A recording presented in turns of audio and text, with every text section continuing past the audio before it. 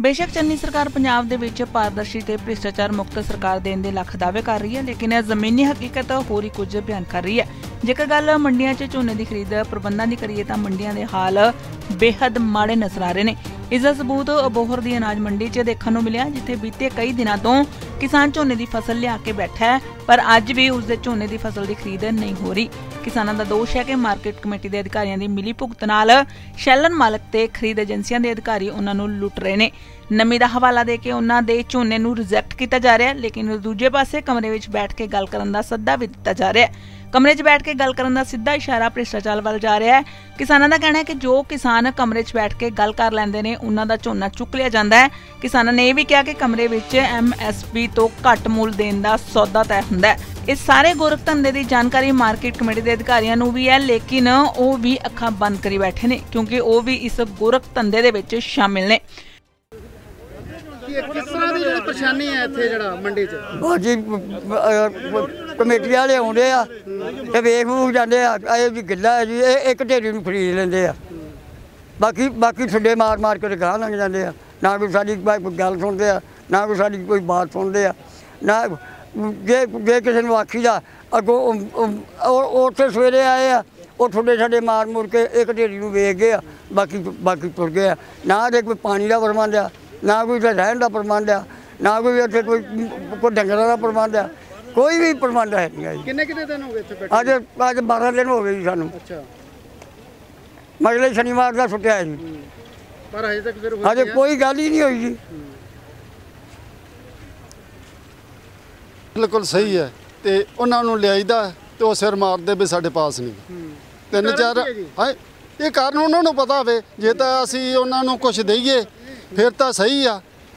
ਮੋਚਰ ਵੀ ਸਾਰੇ ਸਾਰਾ ਕੁਝ ਸਹੀ ਆ। ਤੇ ਉਹ ਆਂਦੇ ਉੱਥੇ ਅੰਦਰ ਆਓ ਅੰਦਰ ਅਸੀਂ ਨਹੀਂ ਜਾਣਾ ਅਸੀਂ ਆ ਸਾਹਮਣੇ ਇੱਥੇ ਜਿਹੜੇ ਤੋਲਣਾ ਤੇ ਇੱਥੇ ਅੱਗ ਤੋਲੋ ਤਾਂ ਇੱਥੇ ਰੇਟ ਲਾਓ ਸਾਡਾ। ਅੰਦਰ ਫਿਰ ਕੀ ਕਰ- ਕਰਦੇ ਗੱਲ ਕਰਦੇ? ਅੰਦਰ ਇਹ ਹੈ ਵੀ ਘੱਟ ਵੱਧ ਸਾਡੇ ਨਾਲ ਕਰੋ ਤਾਂ ਇਹ ਤਲਾ ਲੈਣੇ ਅੱਛਾ ਉਹਨਾਂ ਦਾ ਤੁੱਲ ਵੀ ਜਾਂਦਾ ਜਿਹੜਾ? ਉਹਨਾਂ ਦਾ ਤੁੱਲ ਵੀ ਜਾਂਦਾ ਜਿਹੜਾ ਅੰਦਰ ਖਾਤੇ ਉਹ ਕੰਮ ਹੋ ਜਾਣਾ।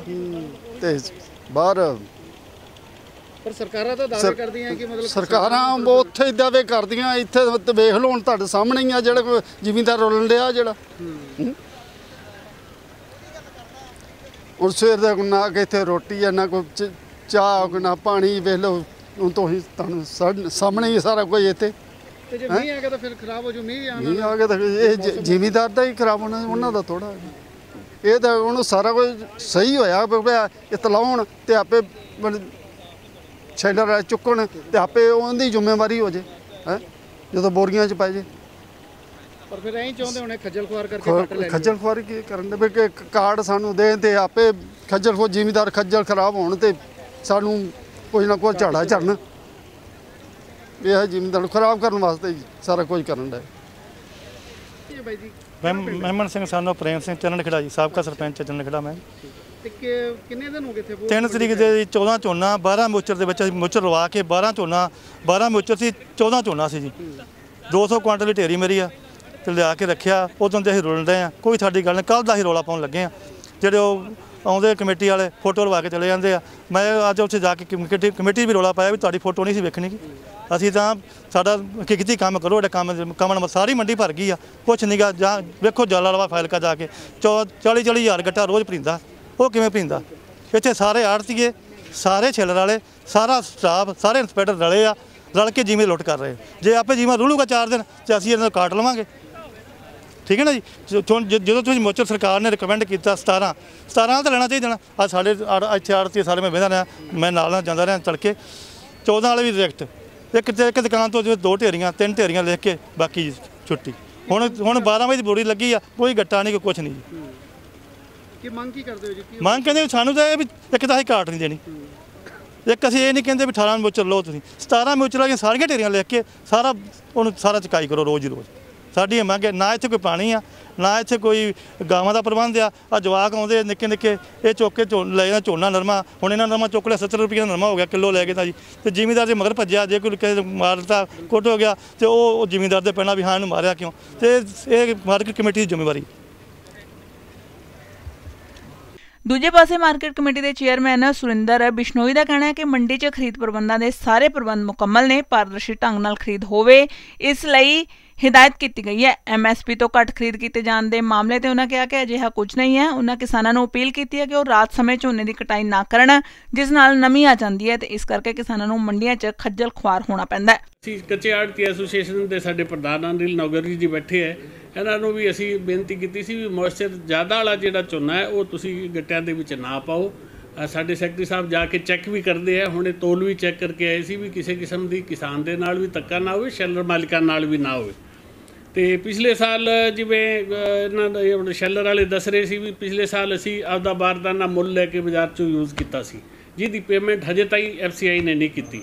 ਮਤਲਬ ਜਾਣ ਕੇ ਪਰੇਸ਼ਾਨ ਕਿਸਾਨ ਨੂੰ ਵੀ ਕਰਨਾ ਸ਼ੈਲਰ ਵਾਲਿਆਂ ਨੂੰ ਵੀ ਕਰਨਾ, ਜਿਹਦੇ ਕਾਰਨ ਜਿਹੜੀ ਬਦਨਾਮੀ ਹੁੰਦੀ ਹੈ, ਉਹ ਦੇਖੋ ਜਿਹੜਾ ਮਾਲਿਕ ਹੈ ਬਦਨਾਮੀ ਉਹਦੀ ਹੋਣੀ। ਹੁਣ ਸਾਡੀ ਕਾਂਗਰਸ ਦੀ ਸਰਕਾਰ ਹੈ ਤੇ ਸਿੱਧਾ ਟੱਚ ਸਾਡਾ ਕਿਸਾਨਾਂ ਨਾਲ ਤਾਂ ਹੁਣ ਕਾਂਗਰਸ ਦਾ ਰਹਿੰਦਾ ਹੈ। ਸਾਡੀ ਸਰਕਾਰ ਜਿਹੜੀ ਪੰਜਾਬ ਗਵਰਨਮੈਂਟ ਹੈ, ਉਹਦਾ ਰਹਿੰਦਾ ਹੈ। ਕਿ ਜਾਣ ਕੇ ਪਰੇਸ਼ਾਨ ਸੈਂਟਰ ਗਵਰਨਮੈਂਟ ਕਰ ਰਹੀ ਹੈ ਵੀ ਕੋਈ ਦਿੱਕਤ ਆਵੇ ਤਾਂ ਇਲੈਕਸ਼ਨ ਸਾਲ ਹੈ, ਇਹਦੇ ਵਿੱਚ ਕੋਈ ਨਾ ਕੋਈ ਹੋ ਸਕਦਾ ਹੈ ਵੀ ਉਹ ਸੋਚਦੇ ਹੁਣ ਸਾਡਾ ਫਾਇਦਾ ਹੋ ਜਾਊਗਾ, ਲੇਕਿਨ ਇੰਨਾ ਕੋਈ ਕਿਸਾਨ ਵੀ ਬੇਵਕੂਫ ਹੈ ਨਹੀਂਗਾ ਇੱਕ ਜਾਖੜ ਸਾਹਿਬ ਨੇ ਸਾਨੂੰ ਹਦਾਇਤ ਕੀਤੀ ਸੀ ਵੀ ਪਿਛਲੇ ਸਾਲ ਜਿਵੇਂ ਹੁਣੇ ਇਹਨਾਂ ਨੇ ਕੁਐਸਚਨ ਪੁੱਟ ਕੀਤਾ ਸੀ ਵੀ ਪਿਛਲੇ ਸਾਲ ਜਿਵੇਂ 3 ਕਿਲੋ 4 ਕਿਲੋ ਕਾਟੇ ਲੈ ਰਹੇ ਸੀ। ਫਿਰ ਸਾਨੂੰ ਮਿਡ ਸੀਜ਼ਨ ਦੇ ਵਿੱਚ ਆਰੋ ਮੰਗਾਣੇ ਪਏ। ਐਤਕੀ ਜਾਖੜ ਸਾਹਿਬ ਨੇ ਕਿਹਾ ਵੀ ਸ਼ੁਰੂ ਤੋਂ ਆਪਣਾ ਸੀਜ਼ਨ ਸਟਾਰਟ ਹੋਇਆ ਤੇ ਸ਼ੁਰੂ ਤੋਂ ਹੀ ਇਹਨਾਂ ਨੂੰ ਸਾਰੇ ਜਿਹੜੇ ਆਪਣੀ ਏਜੰਸੀਜ਼ ਹੈ ਇਹਨਾਂ ਨੂੰ ਉਹਨਾਂ ਦੇ ਐਮਡੀ ਹੈ ਉਹਨਾਂ ਨੂੰ ਵੀ ਫੋਨ ਕਰਕੇ ਸੁਨੀਲ ਕੁਮਾਰ ਜਾਖੜ ਜੀ ਨੇ ਕਿਹਾ ਵੀ ਆਰਓ ਜਿਹੜੇ ਹੈ ਸਾਡੇ ਸ਼ੁਰੂ 'ਚ ਹੀ ਆ ਜਾਣੇ ਚਾਹੀਦੇ ਹੈ। ਤੇ ਅੱਜ ਹੁਣੇ ਮੇਰੀ ਐਮਡੀ ਸਾਹਿਬ ਨਾਲ ਗੱਲ ਹੋਈ ਸੀ ਆਪਣੇ ਡੀਐਮ ਹੈਗੇ ਜਿਹੜੇ ਮਾਰਕਫੈਡ ਦਾ ਜਿਹੜਾ 7000 ਦੇ ਅ, ਮੀਟ੍ਰਿਕ ਟਨ ਦੇ ਆਰਓ ਹੈ ਜਿਹੜੇ ਉਹ ਕੱਲ ਤੋਂ ਸ਼ੁਰੂ ਹੋ ਜਾਣਗੇ ਉਹਨਾਂ ਦੀ ਸਾਰੀ ਫਾਰਮੈਲਿਟੀਆਂ ਪੂਰੀਆਂ ਹੋ ਗਈਆਂ।